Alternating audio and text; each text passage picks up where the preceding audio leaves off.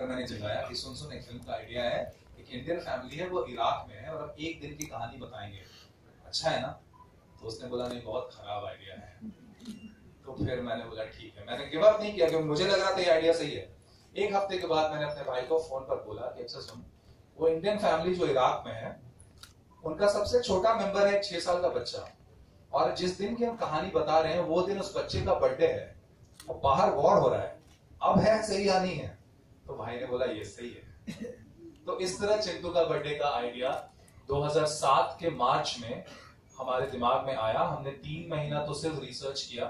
उस वक्त पैसे नहीं थे लैपटॉप वैपटॉप कुछ नहीं था इंटरनेट वगैरह अभी तो आप फ़ोन पे देख सकते हो। उस वक्त साइबर कैफ़े जाकर रिसर्च मटेरियल डाउनलोड करके प्रिंट करके लाकर क्लास रूम में बैठकर हमारे प्रोफेसर सामने मेडिसिन और सर्जरी पढ़ा रहे होते थे और मैं लास्ट बेंच पर बैठकर ये फ़िल्म लिख रहा होता चिंटू का बर्थडे अभी एक और बात मैं आपको बताता हूँ। आज मेरे उस मेडिकल कॉलेज नहीं, वो मेरे लिए फ़िल्म स्कूल है। तो मेरे film school slash medical college का आज बर्थडे है। आज कॉलेज डे है हमारा। और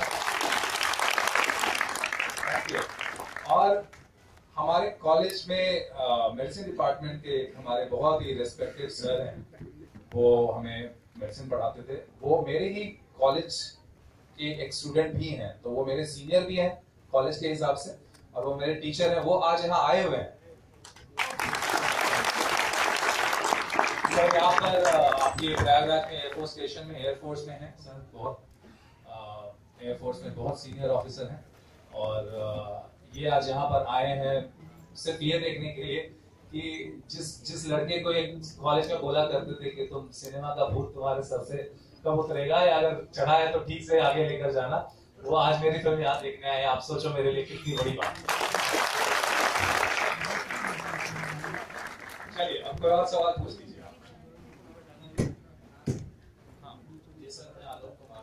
सर मेरा क्वेश्चन आपसे ये है कि जब आप फ़िल्म शूटिंग कर रहे थे तो लोकेशन में और कास्टिंग में कोई प्रॉब्लम तो नहीं हुआ सर?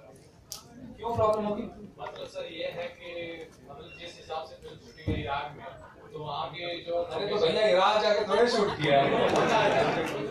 बम्बई बम्बई में शूट हुआ है सेट बनाया है ये। पूरी फ़िल्म सेट है जो बाहर की गली आप देख रहे हैं वो भी सेट है।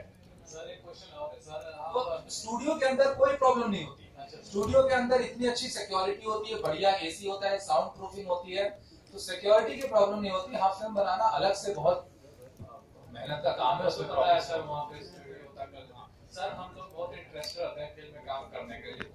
क्या हिंट देना